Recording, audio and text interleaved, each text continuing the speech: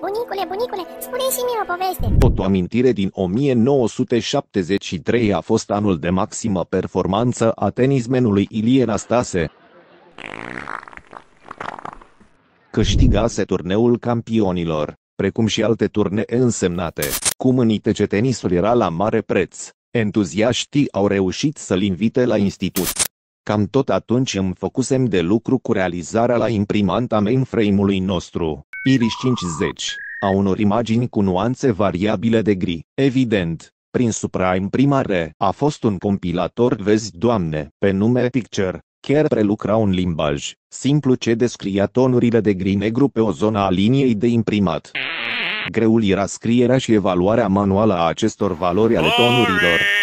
Ei bine, prin efort colectiv, am reușit să-i facem lui Nasty un portret reușit. La baza lui scria, se putea altfel, number one in tennis world, succes mare. Așa de mare, încât s-a extrapolat acest succes către vârful politic al prezentului. Însuși Ceaușescu a avut un portret similar pregătit cu minuțiozitate. Imaginea standard a tovarășului Ceaușescu, în ceea ce azi am nume pixeli.